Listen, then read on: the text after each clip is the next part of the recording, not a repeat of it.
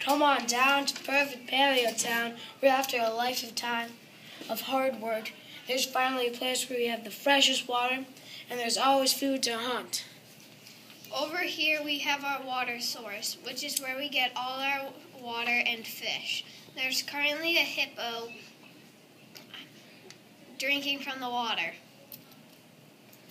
Over here we have our perfect shelters where we would eat, sleep, and express our feelings through cave paintings. But our shelters didn't last forever because we were very nomadic and we followed our animals. The few jobs that we have are hunting for animals and gathering crops, meaning we killed animals and collected crops for food. Some of the tools we used in the community are spears, as you can see the man killing the deer, or the other person from Paleo Town using the knife to gather crops for dinner, or the fire we use to make dinner, cook dinner, or keep us warm.